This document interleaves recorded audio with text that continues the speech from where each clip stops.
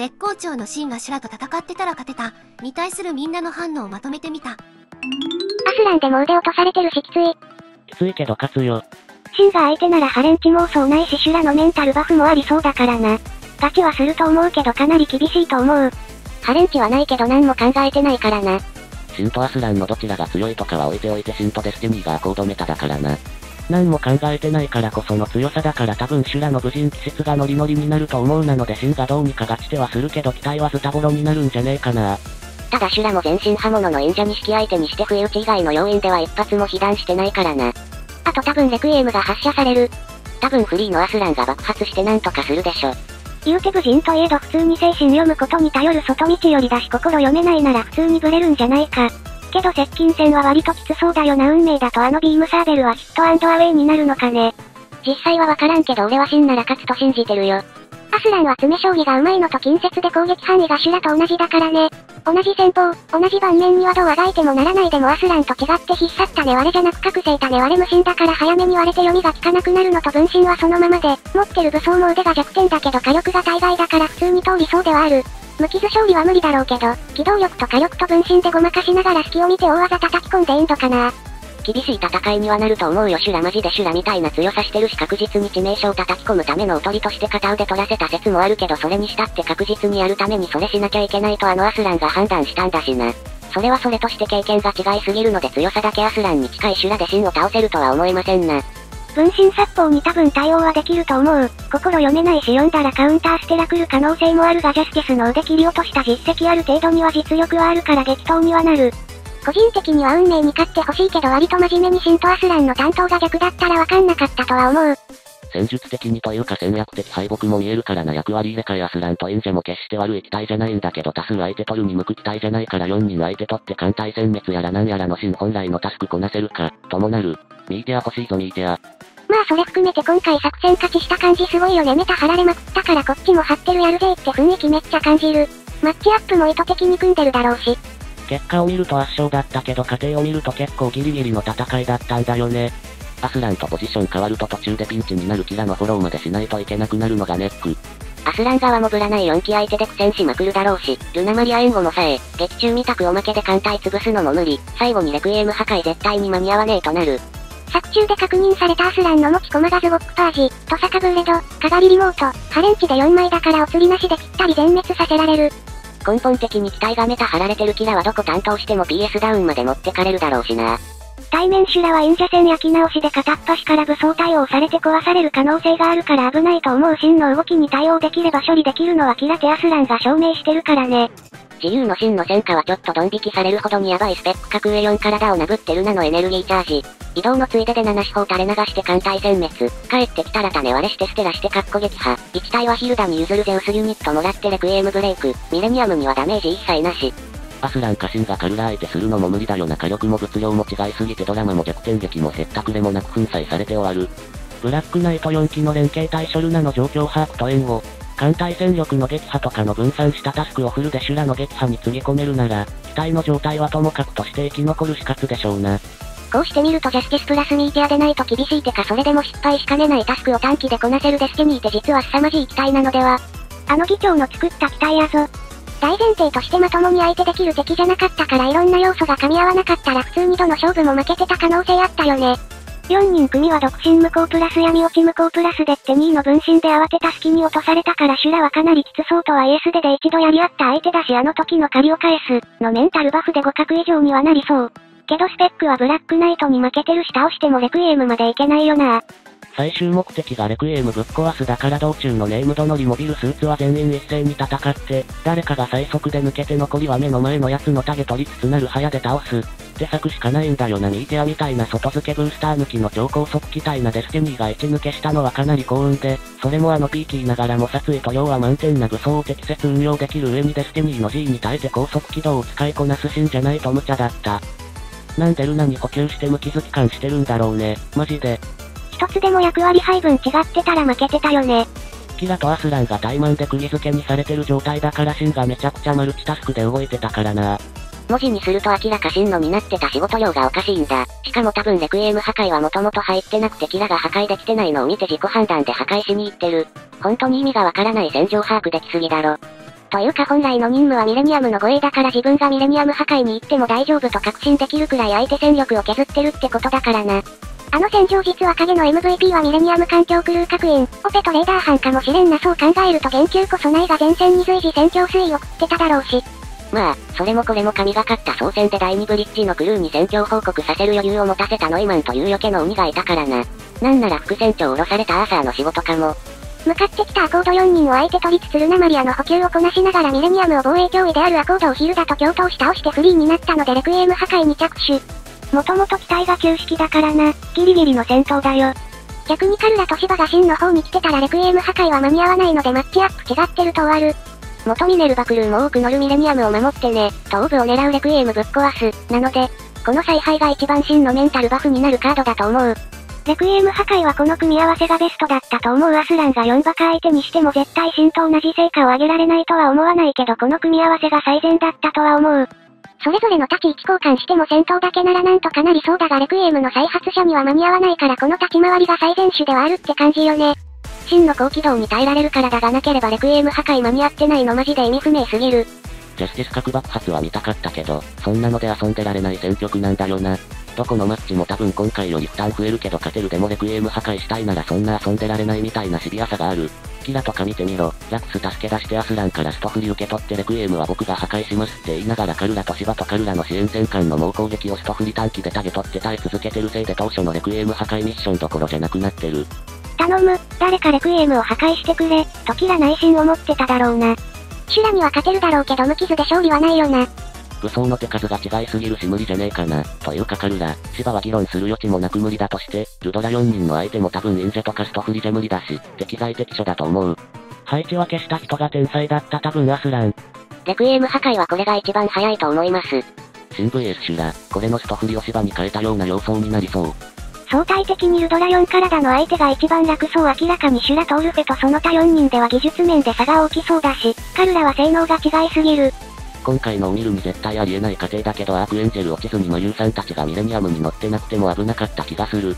ライフリ VS 芝を見るに手数の違いは大きそうだから技術面で劣ってなくてもデスティニーじゃ無理でしょつうかブラックナイトスコード相手にデスティニーで勝てそうなのルドラくらいしかいないよ。正直カルラに関しては前手の理不尽バリアトラックスの怒りで手数ゴリッポリに削らんことにはきつすぎるギミックボスに近いからなあの叩き落とされたカルラのドラグーンの数見るに短期で当たれは無理ゲーに近い。配置変えても全員目の前の相手だけ倒すならできるだろうけど時間制限付きだしレクイエム破壊までは間に合わないだろうな。カルラとジクラートは性能的に前振り以外は無理。南紀に鬼門の12連用電磁用搭載艦とか、シントルナが前菜に平らげてしまった艦隊なんかも他のマッチだと大概めんどくさいか敵母艦にはミレニアムを叩き込むしかないし、あの場で艦隊相手に動けるのはインパルスとデスティニーくらいだし。シュラは守りがやたら硬い上に反応速度も異常に速くて接近戦も射撃もいける万能型だからまんまダークアスランなんだよなガチガチにメタ用意してあれだから単純に実力勝負だと誰が言っても勝ち目ないと思う。今回の戦いはこことここを入れ替えると負けるみたいなことはあまりないと思う。ただここにこの人を配置するのが確実って感じがする。種無印のプロビデンス戦キラとかみたいなボロボロだけどそれでも勝つとこまではいけそうだよねアコード組がイレギュラーに絶望的に弱いスケジュール遵守集団だからその場でイレギュラーできる令和3バカはどれだけ細くても勝ちをもぎ取れるポテンシャル自体はある。問題はその価値が本当に何の加減もないアホスペックな敵のせいで今回のマッチアップですら無駄に細いのに入れ替えたらもっと細くなることと戦闘時間が長引いてレクイエム破壊ができなくなってしまう。正直レクイエムはタイムリミットの問題になったらファウンデーション側がどうかに関係なく、イザークたちがジャガンナートの説得を諦めて押し通ってたとは思うミーティアぶつけるなりジュエルかバスター核爆発させるなりで破壊は可能だろうし、ブラックナイツがその阻止に間に合うかもわからんしで。ザクト組と連携取れれば確かにそっちルートもあるな。ジャガンナートがあそこで沸騰して突っ込んできちゃったから仕留めたけど、ルナにミーティア預けてるのを考えればあそこでデュエルとブリッツが動いても間に合うわけだしそこでルナを行かせたあたり任せるならコンパス組に任せた方が丸いってことなのかな。デスティニーの機体特性を考えると、速攻で決まるか膠着するかのどっちかじゃないかデスティニーって火力と機動は高いけど攻撃のバラエティはそんなにないし、シンプラスデスティニーの動きについてこない相手は余裕で完封できるけど逆にアスランみたいに完全に動きを捉えてくるような相手だと、攻めようにも決定打がなくて長引くと思う。カルラを前振り以外で相手するなら新アスランコンビで挑まないときつそう。それで勝機はあるって程度だと思うわでもそうするとシヴァ、ルドラ ×4 の相手を有効打がないストフリが相手することになるからな。シュラとは生身でしか戦ってないけどキラもアスランも戦ってて余裕そうではなかったし技量に関しては割と大差ないと思う絶好調心でも必ず勝てるとは言えないラインなのでは。アスランは独身無効がない代わりにリモートかがりとハレンチフォトンエッジがあったんで勝てたけどそれでも紙一重だったからな。ルドラと芝の担当が入れ替わってたとしたらどっちも種自由よりも撃破に時間とダメージ食ったとは思うが、他方でイザディアとミーティアはどの道無傷で残るから、レクイエム4発目も間に合わないことはないと思うまた第1ステーション破壊してしのぐか、核動力だから内部でデュエルを核爆発させる、リアッカ、オレオバスターに、とかやっていけただろう。アコードは独身ある前提で戦うしそれが当たり前だから独身できない状況が致命的なデバフになるんだよな。シントアスランが入れ替わるとタイムチャートはかなり厳しくなるがそれ以上の問題はあるなダインジャはインパルスにエネルギー送れないだろうしワンチャンしにかねない。設定詳しくわからんがおそらくミレニアムにも10トリオンビームの送電機構があると信じたい。キラとアスランはシュラと戦ってたけどシンは生身の剣のみだったから見たかった対戦カードではあるんだよな。単純な強さなら他の二人でも4人組には勝てるけど全能対策は完全に捨ててるからシン以外じゃ勝ち目はないっていうクソマッチだからな。それこそキラとストフリ錦が4バカ相手にしててもシンとデスティニー並みの勢いで倒すのは難しそうだしな。ブラックナイツの機体ってフリーダム系メタ特化だし、キラは独身対策もハレンチ妄想も特級呪物もないから巻いてで焼き払う以外だと余計な時間がかかりそう。運命の機動力で分身ばらまきながら7四方中距離からばらまいたら完封できるから戦闘シーンが生えないけど負ける要素ないで初演者だったから接近戦した方なもんだし。中距離からの7四方なんてブラックナイツに当たるわけなくね。逆にシントデスティニーだとカルラ相手にすると防御手段あんまないのと一撃必殺の間合い詰めれないから本当に積むからなストフリは一貫してフェムテクに相性悪いのに勝利条件がディフェンダー来るまで粘れになると一番使える機体だから、マッチアップの妙だ。新相手だったらシュラは童貞臭い集体をさらさずに強くてかっこいい武人キャラとして切れたのかもしれない。チャンバラで完全に舐めてたところで面白い。貴様は本気で戦うに値する戦士だったようだ。みたいになる新 VS シュラ見てみたかったよ。スパロボでやってもらえますか？正直そのリベンジマッチも見てみたかったけどそうなるとアスランの対戦相手がいなくなるからな。勝てると思う。ルドラと芝の機動性にそこまで差はない感じだし、ブオアチュールユミエール展開した運命には追いつけない。分身への対処も心が読めないからどこから来るかわからない。そしてカウンターをミスれば一撃必殺される。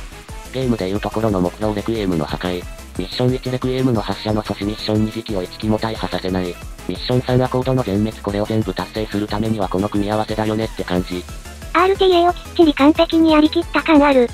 シンが勝つだろうけどそれだとシュラが満足しするからアスランしかいない。この組み合わせだと少年漫画的なお互い全力尽くして戦う感じになりそうだもんな。だからシュラは煽り死させるのが最適ルートなんですね。カスランは怠慢に強くて芯は突破力があるタイプだから片腕どころか足も切られそうだけど、独身効かないから勝てるとは思う。どっちも勝てはするけど時間がカツカツになったり味方も含めた被害状況が大きくなる感じあるから本当に適正マッチしてるって解釈になるのすごい彼らはパイロットとか関係なく機体性能がチートだから巻いて以外無理。シンも格闘は強いけど、アスランとは方向が違うからね張り付いて戦うヒムと一撃離脱のシグマの差みたいな。アスランがルドラ4機だと苦戦しそうだしシンでシュラはやっぱきついんじゃないかな。やっぱ相性って大事よ。ほぼ近接攻撃しか通らないフェムテク装甲で手数重視の近距離武装多数使いこなすシュラ相手に一撃型のデスティニーだと相性は悪そうよね。シンの格がメンデル産の連中より下だったらデュランダルもデスティニープランと同じ名前を持つディスティニーなんて名前の機体は出さなかったと思うからシンが勝ちそうだと予想する。相手の機体想定してるかどうかもあるんじゃないか。ディスティニー作った時はアコード連中の機体がどの程度のスペックに達するかわからなかっただろうし。3人とも実力ランク的なのは同じくらいでも機体の特性含めて捨て振り違うから。シンが勝ちそうだけど高め合っちゃいそうシュラが土壇場で種割れしたり。シンはアコード自体に相性はいい方だから勝てはすると思うただ本編みたいに無傷で済ませてカバーするのは厳しいだろうなってくらい。シュラだけに集中できる状況なら勝てると思う。逆にアスランがあの4人相手は最終的に勝つだろうけどきつそうセクシーコマンドはある程度効くだろうけど、闇落ちへの対抗手段がないし。多分4人相手なら4人相手用の対策準備していくと思う。アコードの調査をして事前に対策準備をした上で結果修羅戦になったってだけだから、他の相手でもそれなりにどうにかしてただろ。修羅が満足しそうだからダメって聞いた。持って生まれた能力独身を活用してるだけなのに卑怯扱いされてるのはちょっと疑問ニュータイプで行動先読みするの卑怯とかいうやつはいないのにね。というかンも霊感ピキンしてるしな自然になんか生えた才能じゃなくてコーディネートされた遺伝子が卑怯ってんならもう頭ブルーコスモスだよ。達人同士の戦いって心の読み合いだから外道でも卑怯でも何でもないシンの無心もしかり。シュラ自体がアスランと戦闘スタイル似ているから、運命で一度ボコボコに負けているシンならこいつ本気のアスランより経験値低くて戦いやすくね。ってなって最後には勝ちそう。心が読めないプラス分身が出るレベルのとんでもスピードで撹乱しまくればシンとデスティニーが勝ちそうあとシンは戦いにおいて機転を利かせるのもうまいアビスを仕留めた時やフリーダム戦とかカラフェイントとかで一瞬の隙をついてパルマとかいけるかも心読めないし、カルラ戦は大変そうやり方としてはもう超スピードでドラグーンを振り切ってジブラードを落としてドラグーンも落とすかカルラ本体を叩くしかなさそう。アニマンでよく見る意見だと勝てるけど時間かかるからレクイエム破壊で傷つむアスランも同じくなので映画通りの組み合わせがベストだったと。シュラが勝つに、ようシュラは心を無にするつもりか、無駄だ、って言ってたから。死んでもシュラには読まれる可能性あると思う。というか読めないことも想定内で戦えるから無駄だって理屈じゃない。精神的に動揺させたきゃ本編通りセクシーコマンドをするっきゃない。どれくらい苦戦するかの考察はあれどシンがシュラに勝つという見解はみんな一致してるな。いや負けるって見てる人も割といるぞ。心が読めなくてもシュラの方がアスランを上回る技量だったし主人公組補正がなければ勝つのは難しいんじゃないかシヴァだと隠者対デスティニーみたいな感じになるだろうし。所詮寝ぼけた分身してた頃のデスティニーなんて何の参考にもならんアコード側だって、シンたちのデータを研究しまくってて、実際に本気出し切れてない時のシンを見て大したことないと踏んでたのに、実際は知らないよ、こんな武器。だからな。読心効かないから余裕。シンとアスラン入れ替わってもどっちも勝てるけどそっちの方が二人とも苦戦するし時間かかるからキラの元にラクスが安全に行けるのが遅くなって負ける可能性がある。普通に勝てると思うよというかアスランもハレンチ抜きにしても全力じゃなかっただろあれ。アスランがとどめに仕方ね割れ使ってないからシュラとの差が微妙にわからんのよなただシヴァって隠者の上位互換みたいな機体だし接近戦ではデスティニーに勝ち目なさそう。純粋にアスランと隠者の上位互換の機体にシンが勝つという展開も見たいといえば見たかった。デスティニーの高速戦闘にシュラが適応する前に倒せればシンの勝ち。と予想映画のデスティニー、マジで見たことない速度でかっ飛んでたからあの動きを見切るのはかなり難しそう。他の黒騎士は追えてなかったし。とはいえシュラの技量も化け物だから戦いが長引けば対応してくる気がする機体の性能差もあって速度抜きの近接戦闘だとシュラ死んだと思うから、優速のアドバンテージを活かせるかどうかが重要になる。普通にシンが勝ちそう万全の新相手だとアスランですら真っ向勝負じゃ無理っしょ。分身するお祭り男だからなパイロットとしては最強。分身攻撃に修羅が適応してきそうだから、シン・モルナのエロ妄想をしながら戦えば勝てるのでは。